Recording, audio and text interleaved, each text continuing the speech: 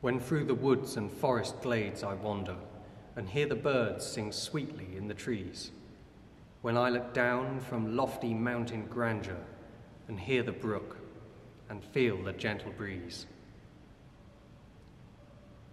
These are the kind of words which have kept people coming to church for generations, have kept them singing, and these are the kind of hymns which will last forever. Or so you think.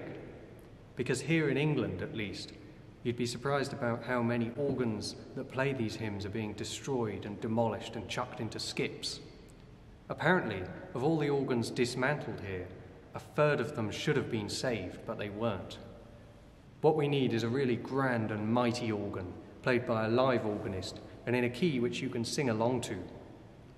When Christ shall come with shout of acclamation and take me home, what joy shall fill my heart.